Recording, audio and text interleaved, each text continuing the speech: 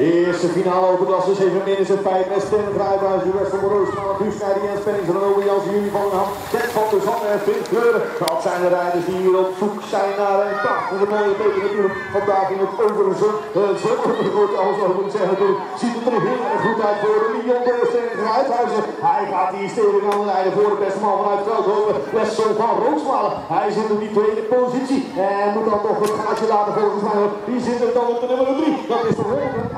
Heb ik het over die Jens Pennings voor dat ze nu. Maar die krijgt het hier wel eens met een 26 paard. Maar die gaat in de ren. Dat moet je niet doen jongen. Dan verlies je je plekje en dan ben je zomaar gezien. Maar de winst gaat hier naar Stem Gluithuizen.